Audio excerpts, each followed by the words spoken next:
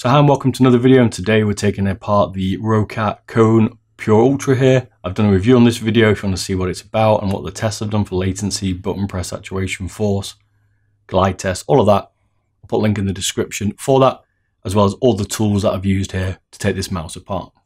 Now if you're not familiar with these videos, we are going to use the bigger scales to weigh the largest parts. We're going to use the smaller scales to give us really incremental grams here for things like the screws, mice feet, etc.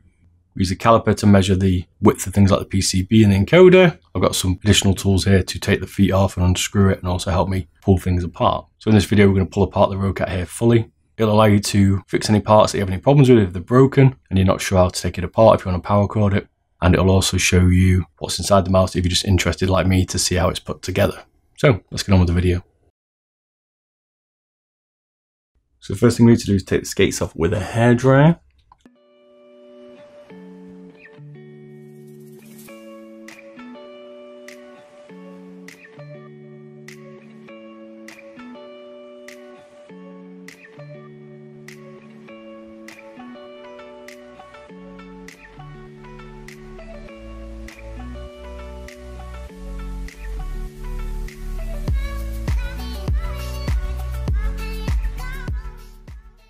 And then it should just pull apart from slightly different. The base here, just pulling the cord a little bit and it'll ping off. And it should open up nicely. Or we'll move the pin cable here for the side buttons at the top.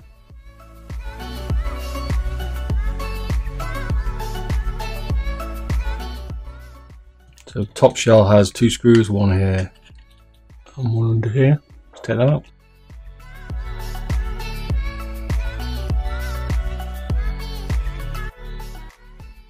Should be able to give it a little bit of a pull there and it should just ping out.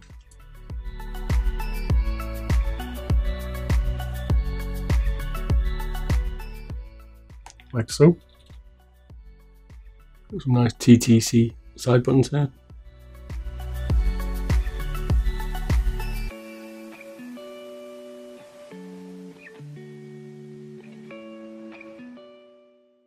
Now the side buttons look like stuck in you can see that on the camera, but these little pins here, it's like little rivets on the side. It's not the normal T-bar that we see. Let's see if we can just ping them off a bit.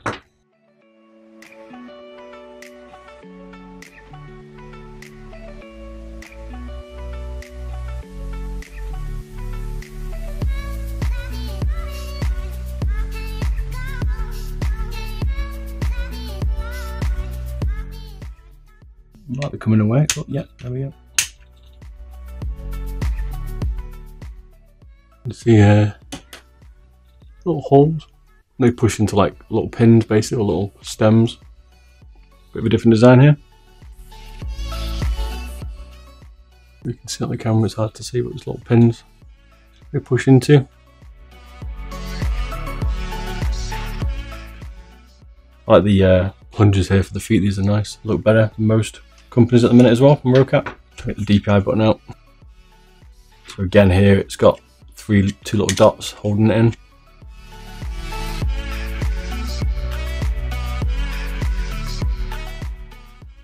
Also got some little side hooks or side clips. Something well put together.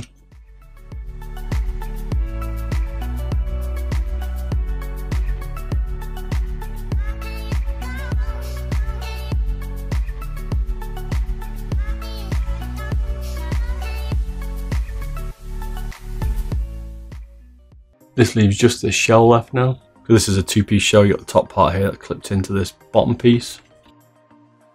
Under here, it's got a clip here, clip here, clip here, clip here.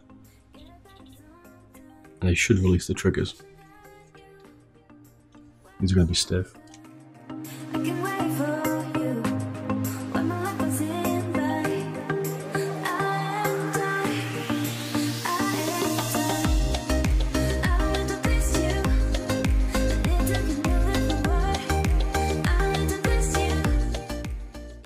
Bit of an unusual fit in here. This is a different style of clip I've not seen.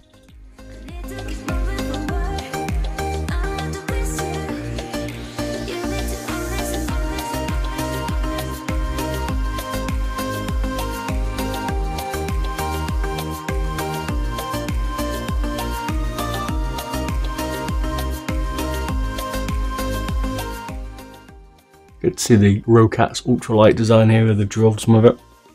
I think there's also potential to take out some of the weight in this shell.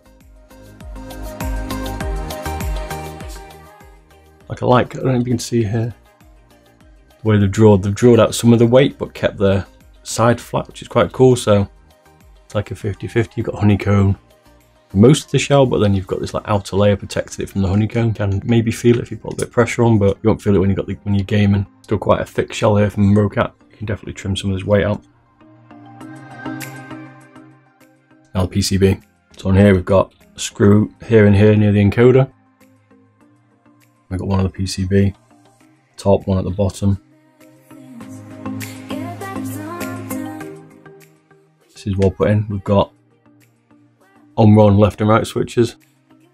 TTC mouse button switch on a stacker, which is different. Not seen that. Normally these are micro switches, but that shows how high that scroll wheel is. And then they've got this encoder on a raised platform as well. Encoder is an Alps R, and these are 50 million click Omron switches. So take out the encoder ones first. Another different style screw.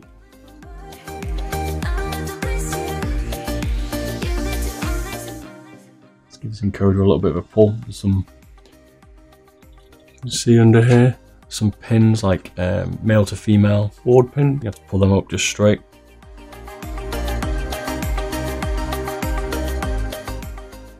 Small scroll wheel here from Roccat, diameter wise.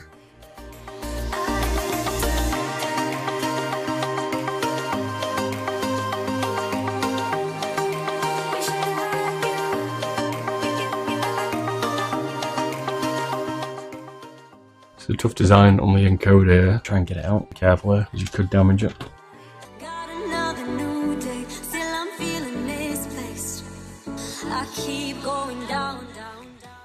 Leave it in there for the minute. We'll take it off maybe when we get the PCB off. So, to the remaining PCB screws out. I've also noticed on this is the pins for the cable here. We put it really close to the front of the PCB so you don't normally at the back corners. This one's on the front here, which is a good idea. Though I don't like it being caught up as much as it is. See, it's starting to twist some of the cables funny.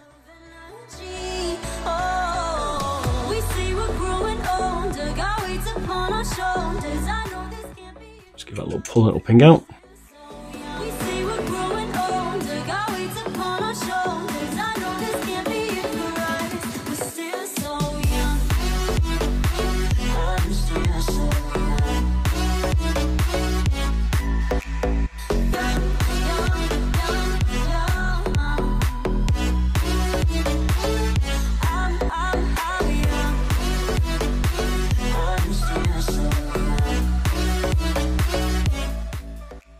With thick base plate, you can again see that kind of honeycomb effect where they've drilled out little bits of it to try and save some weight, but left it so you can't tell on the external side. It's not obvious. I think they could probably make a bit of a thinner shell because this is, this is pretty thick. It's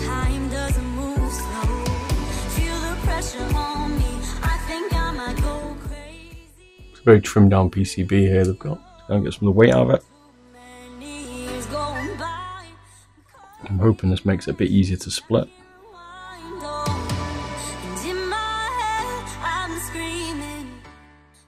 I definitely would not recommend taking this part at this point off the PCB if you can get away with it.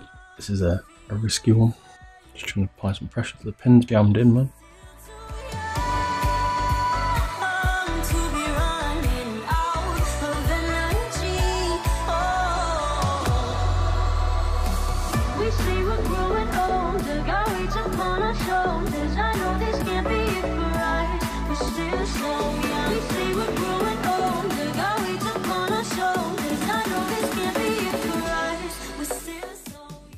You can tell it just isn't moving. So I don't think it can come apart there. Put any more pressure on it, I'm going to break it.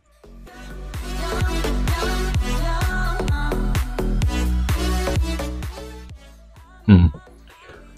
Well, I can't get this part apart unless I break it very easily. It's going to be very difficult, so hopefully you never have to change that bit. the hell?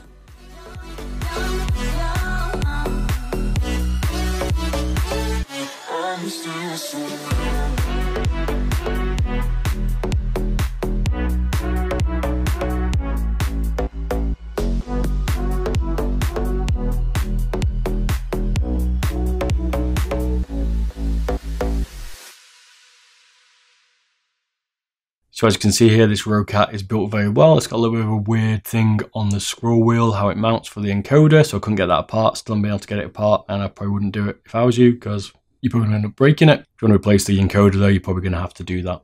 Other than that, it's built really well, like the how the shell's put together, and we can do that and see how much more we can get out of it. Overall, Roccat have done a really good job at building this mouse. It is nicely put together.